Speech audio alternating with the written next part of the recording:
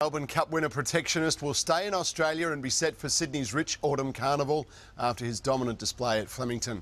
While Connections celebrated the German stayers' win into the early hours of this morning, their thoughts were with the owners of Admire Rakti and Araldo, who died after the race. Yeah, I feel very sorry about that. That's very sad. Anyone involved with thoroughbred racing would understand how much people love their horses. Nobody likes to see it. Yeah, I feel for the connections. Owners are confident the four-year-old can get even better.